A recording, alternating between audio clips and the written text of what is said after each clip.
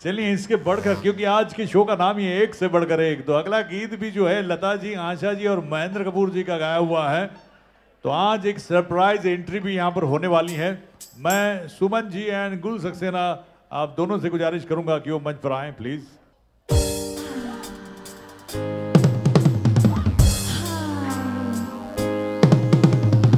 Hey man, a sort of.